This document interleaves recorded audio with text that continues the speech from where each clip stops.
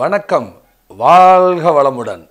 அன்பர்களே எங்களுடைய ஸ்ரீ ஜோதிட பீடத்தின் சார்பாக உங்களை சந்திப்பதில் மிக்க மகிழ்ச்சி அடையும் நான் உங்கள் பண்டிட் விஜய். நிறையா ஜோதிடம் சார்ந்த சித்தாந்தங்களை வித்தியாசமான பதிவுகளை உங்களிடம் பகிர்ந்து கொண்டு வருகிறோம். நிறைய அன்பர்கள் ஆதரவு கொடுக்குறீங்க நிறைய அன்பர்கள் வியூவர்ஸ் பார்க்குறீங்க நிறைய அன்பர்கள் சப்ஸ்கிரைப் பண்ணுறீங்க இந்த மாதிரி ஒரு ஜோதிடர் இருக்காருன்னு என்னை சந்திக்காமலேயே என்னுடைய தொலைபேசியில் உரையாடாமலேயே நிறையா என்னுடைய வீடியோஸ் பார்த்து நிறையா அன்பர்களுக்கு சிபாரிசு செய்கிறீங்க உங்களுக்கெல்லாம் கோடான கோடி நன்றி செலுத்த கடமைப்பட்டிருக்கேன். நிறைய ஜோதிடம் பற்றிய பதிவுகளை இதுவரைக்கும் நான் பதிவிட்டுட்டு வந்தேன். இதுவரை நியூமலாஜி நான் இதுவரை பதிவிட்டதே இல்லை. முதல் முதலாக உங்களுக்கு இந்த நியூமலாஜி சம்பந்தமான ஒரு பதிவை ஃபஸ்ட்டு வெளியிடுறேன்.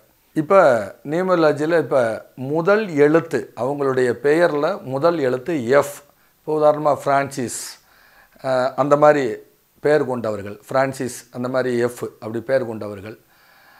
இவங்களுக்கு எப்படி இருக்கும் அப்படின்னு பார்த்தீங்கன்னா இது வந்து ஒரு சனியினுடைய ஆதிக்கம் கொண்ட எழுத்து இந்த எழுத்து. அப்போ இந்த சனியின் சனி எப்படி வாழ்க்கையில் அவங்களுடைய முன் முற்பகுதி ரொம்ப ஒரு கஷ்டத்தை சந்திச்சு. ரொம்ப கஷ்டத்தை சந்திச்சு முன்னுக்கு வந்த ஒரு ஜாதகமாக இருக்கும். உழைப்பு அவங்கக்கிட்ட அதிகமாக இருக்கும்.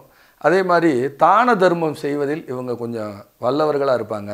யாராவது இந்த உடல் ஊனமுற்ற ஆசிரமங்களுக்கு ஹெல்ப் பண்ணுறது தான தர்மம் பண்ணுறது ஆன்மீகம் சம்பந்தமான விஷயத்தில் ஈடுபாடு கொண்டது தன்னம்பிக்கை உடையவர்களாக இவங்க இருக்கிறது.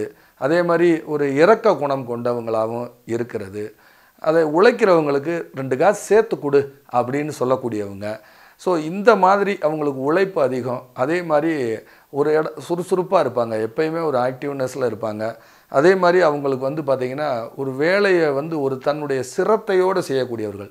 எந்த வேலை கொடுத்தாலும் சரி ரொம்ப சிரத்தையாக ரொம்ப அற்புதமாக செய்யக்கூடியவங்க. முன் வாழ்க்கையில் கஷ்டப்பட்டு பின் வாழ்க்கையில் உயரக்கூடியவர்கள்.